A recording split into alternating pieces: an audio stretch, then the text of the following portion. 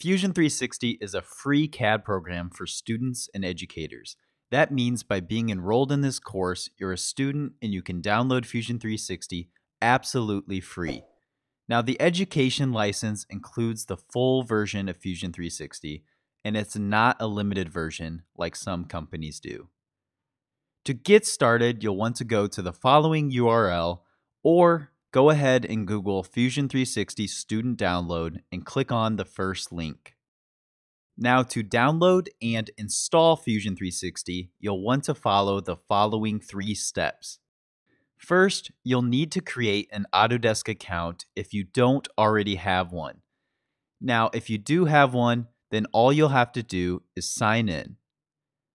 Second, you'll need to register your education account by answering a few questions.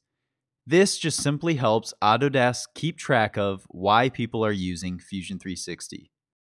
Third, and last but not least, you'll be prompted to download Fusion 360 for Mac or Windows.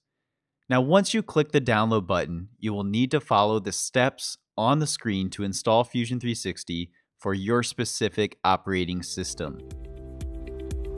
If you learned something in this video, be sure to subscribe and check out Product Design Online for more resources.